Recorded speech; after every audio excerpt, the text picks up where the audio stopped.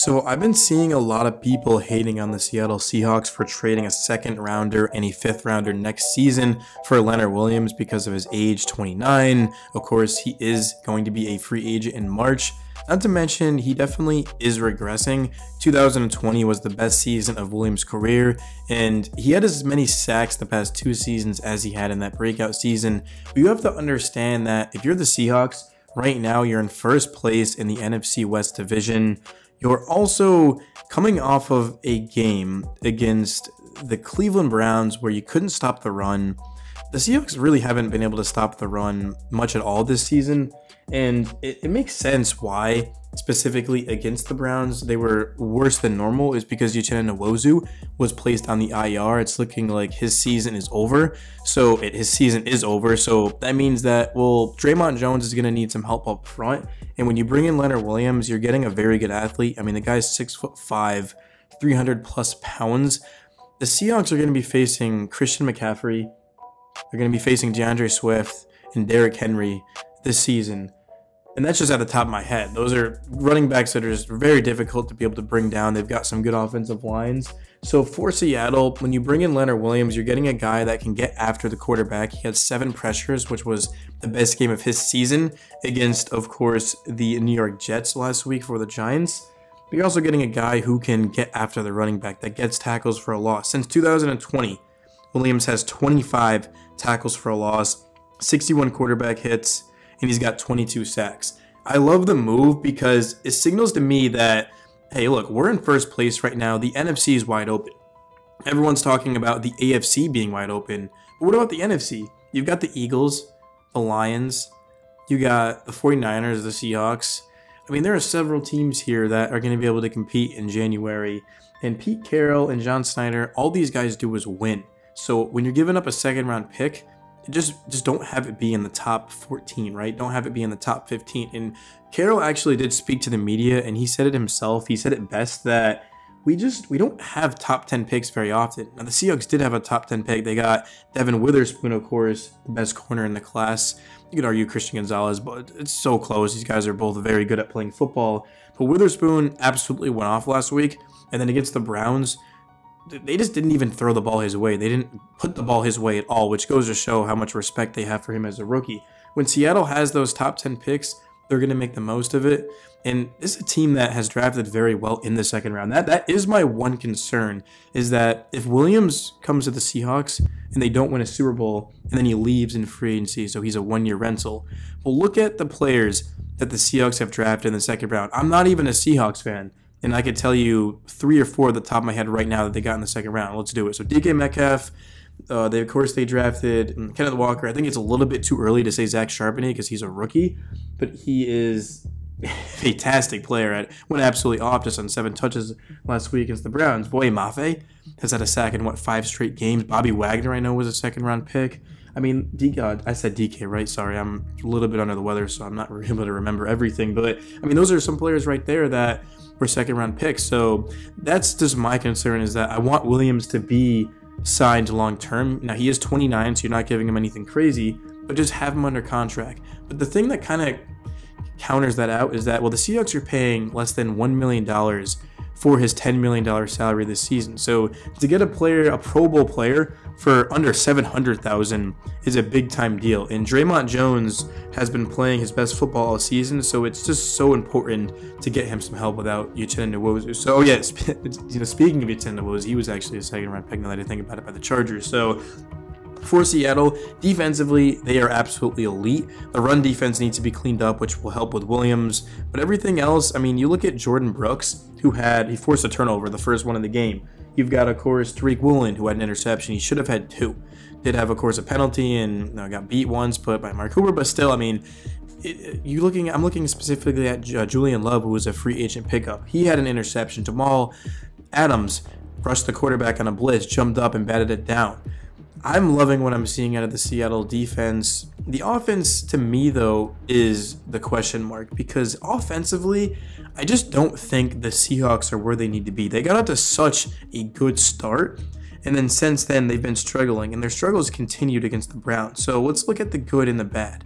So, starting off with the good, because we'll be optimistic. So, Geno Smith Of course, he led a game-winning drive. He, uh, the Seahawks in general had 362 net yards. They had 17 first downs. They went three for five in the red zone, and they had 6.7 yards per carry.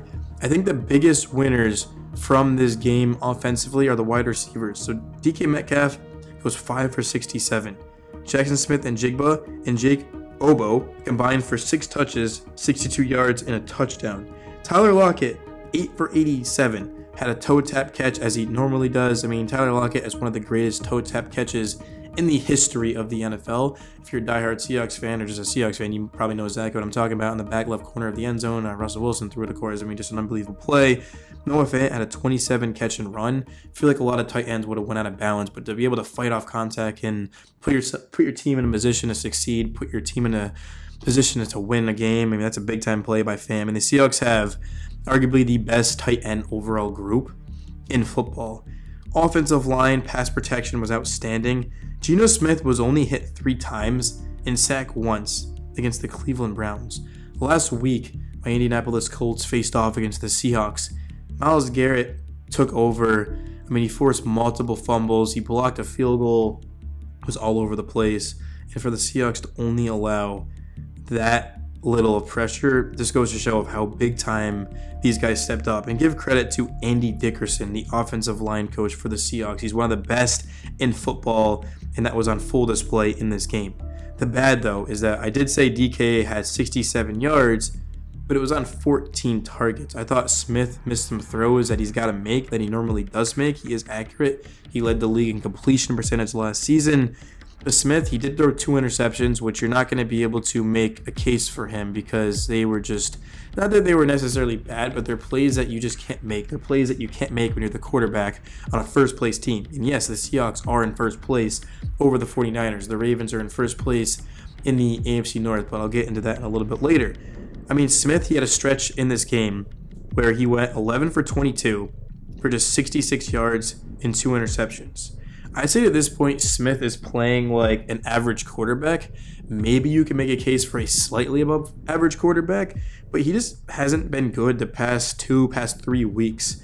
And the Seahawks, yes, they had 17 points on three consecutive drives to start the game, but what did they do after that? Of course, every drive ended in a punt or an interception until the final touchdown, of course, when they had that screen pass and DK Metcalf made a hell of a block. So a 33% third down conversion rate is not very good, but against the Browns, that actually is above average.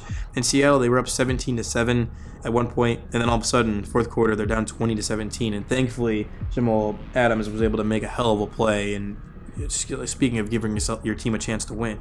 And then defensively, even though the Seahawks to me are an elite defense, they definitely have flaws uh, basically the run defense against the screen. I mean, you have to realize that you know PJ Walker didn't really have a good game, but it's the fact that Cleveland had 257 yards through the air on just 16 completions. I'd say over half of that came on screens. 155 yards on the ground on 40 attempts.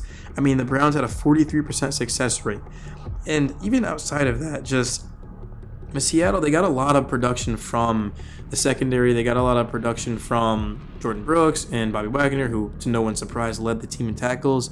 But I feel like there's just a couple of things that just need to be cleaned up, and I'm hoping that Leonard Williams can do that. Which, if you can trade for Leonard Williams, you've got to be able to do that because I feel like the Seahawks can use him more than anyone, just with where their weaknesses are at. Like everything I just named you guys is going to be cleaned up single-handedly by Leonard Williams because he's that good, and that's what they need.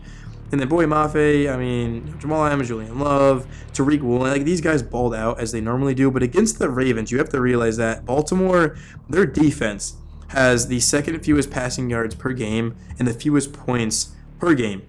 Gus Edwards had three rushing touchdowns last week, 80 yards on 19 carries. In the last two games, Edwards has four touchdowns and has averaged 6.6 yards per touch.